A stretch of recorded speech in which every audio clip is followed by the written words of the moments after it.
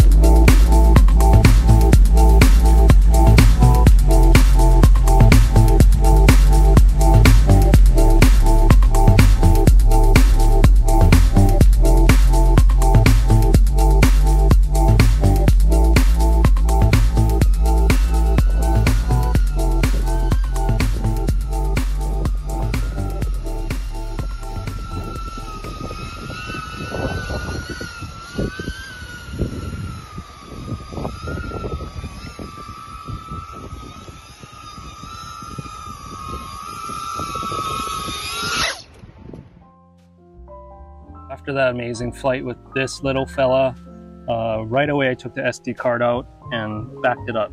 So I'm just gonna put it right into my laptop here because you just never know. My, my third flight here, I might lose it, you know? That's what I'm prepared for. You know, this is FPV life, right? Yeah, I was like really pushing this hard. I was trying to go faster because I want the footage to be exciting and I try to go low as well without losing signal. So you know that's that's kind of the ideas of for me to get really nice cinematic footage.